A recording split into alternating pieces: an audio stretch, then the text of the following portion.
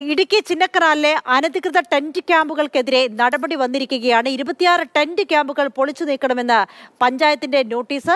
മാതൃഭൂമി ഇതുമായി ബന്ധപ്പെട്ട വാർത്ത റിപ്പോർട്ട് ചെയ്തിരുന്നു. ഇതിന്റെ പശ്ചാത്തലത്തിൽ കൂടിയാണ് നടപടി.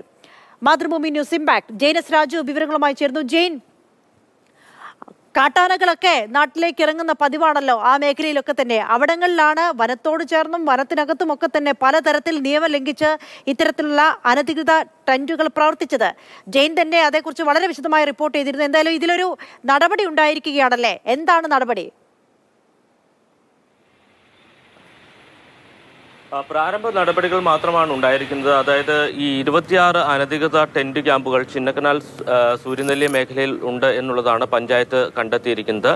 ഈ ഇരുപത്തിയാറ് ടെന്റ് ക്യാമ്പുകൾക്കും അത് അവിടെ നിന്ന് നീക്കം ചെയ്യണം എന്നാവശ്യപ്പെട്ടുകൊണ്ട് പഞ്ചായത്ത് നോട്ടീസ് നൽകിയിട്ടുണ്ട്. ഇതിനു മുമ്പ് ഒരു വർഷം മുമ്പ് പഞ്ചായത്ത് സമാനമായ ഒരു നോട്ടീസ് നൽകിയിരുന്നു. പക്ഷേ അതിൽ പിന്നീട് തുടർ നടപടികൾ ഉണ്ടായില്ല. ഇത്തവണ പോലീസും ഇക്കാര്യത്തിൽ ഒരു ഇടപെടൽ നടത്തിയിട്ടുണ്ട്. ശാന്തമ്പാറ പോലീസിന്റെ ഭാഗത്തുനിന്ന് ഇത്തരം അനധികൃത ടെന്റ് ക്യാമ്പുകൾക്കെതിരെ നടപടി വേണം എന്നാവശ്യപ്പെട്ടുകൊണ്ട് പഞ്ചായത്തിന് ഒരു കത്ത് നൽകിയിരുന്നു. കാരണം ഇവിടെ നടക്കുന്ന ചില ആളുകൾ എത്തുന്ന അനധികൃതമായി നടക്കുന്ന ഇത്തരം ടെന്റ് ക്യാമ്പുകൾ കേന്ദ്രീകരിച്ച് നിയമവിരുദ്ധമായിട്ടുള്ള പല കാര്യങ്ങളും നടക്കുന്നുണ്ട് എന്നുള്ളതാണ് പോലീസിന്റെ ഒരു കണ്ടെത്തൽ. പ്രത്യേകിച്ച് ലഹരിയുടെ ഉപയോഗം മറ്റ് ക്രിമിനൽ സ്വഭാവമുള്ള പ്രവർത്തനങ്ങളെല്ലാം ഈ ടെന്റ് ക്യാമ്പുകൾ കേന്ദ്രീകരിച്ച് നടത്തുന്നുണ്ട്.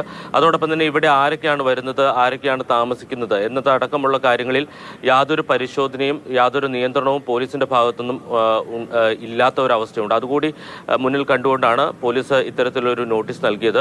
രാത്രികാലങ്ങളിൽ ചിലപ്പോഴൊക്കെ പോലീസിന്റെ ഭാഗത്തുനിന്ന് ഇത്തരം ടെന്റ് ക്യാമ്പുകളിൽ പരിശോധന നടത്തുന്നുണ്ട്. പക്ഷേ കാര്യമായ മറ്റ് നടപടികളിലേക്ക് പോയിരുന്നില്ല. അത് തീർച്ചയായിട്ടും ഒരു ക്രമസമാധാന പ്രശ്നമായി കൂടി മാറുന്ന പശ്ചാത്തലത്തിലാണ് പോലീസിന്റെ ഭാഗത്തുനിന്ന് ഒരു ഇടപെടൽ ഉണ്ടായത്. എന്തായാലും വിനോദസഞ്ചാരികളെ സംബന്ധിച്ച് അവരുടെ ജീവൻ അപകടത്തിലാകുന്ന തരത്തിലുള്ള ഒരു ടെന്റ് ക്യാമ്പിംഗ് ആണ് ചിന്നക്കനാൽ മേഖലയിൽ നടന്നിരുന്നത്. നമുക്കറിയാം ചക്കക്കൊമ്പനും മൊട്ടവാലിനുമൊക്കെ ആ പ്രദേശത്തുണ്ട്. അരിക്കൊമ്പനെ മാത്രമേ അവിടെ നിന്ന് മാറ്റിയിട്ടുള്ളൂ. മറ്റ് കൊമ്പനാനകളും പിടിയാനകൾ അടക്കമുള്ള കൂട്ടങ്ങളുള്ള ഒരു മേഖലയാണ്. ആനത്താരയിലാണ് പല ടെന്റ് ക്യാമ്പുകളും പ്രവർത്തിക്കുന്നത്.